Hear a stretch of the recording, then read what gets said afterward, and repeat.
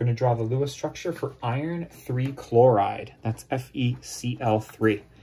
Iron is a metal from the transition metal block at the periodic table. It can have multiple charges. So I want you to look at the formula or the name and tell me what the charge of iron is. If you said it was plus 3, you're correct. And I want you to start with Fe having three dots around it. The loss of those three electrons will give it the charge of plus 3. If you're being asked for iron 2 chloride, I want you to start with two valence electrons instead. Get it? Now, chlorine is a nonmetal. It's from the right-hand side of the periodic table, and in group 17, it brings seven valence electrons. One, two, three, four, five, six, seven. Now, as an ionic compound, and I know that because this is a metal reacting with a nonmetal, there's going to be a transfer of electrons from metal to nonmetal. That's how ionic compounds form. Iron is going to want to lose all of its electrons, well, all of its valence electrons, I should say. And chlorine will want a complete octet of eight outer electrons.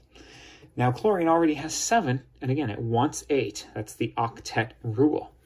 So I want you to draw an arrow from the, one of the electrons on iron to chlorine. Oh, you've completed chlorine's octet. It's now stable. Great. The problem is that this iron here is not yet stable because it still has valence electrons.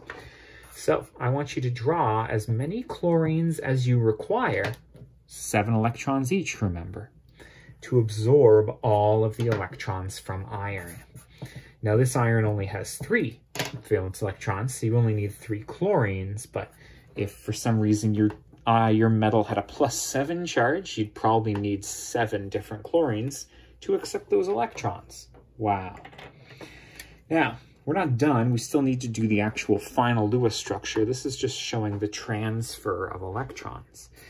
You have Fe, iron, and I don't want you to put any dots around it because it gave away all its valence shell electrons. But it lost three negatives. That gives it a charge of plus three. Then I want you to draw your chlorines. They had seven valence electrons plus one because it accepted an extra electron from iron. Put it in square brackets to show it's an ion with a minus one charge.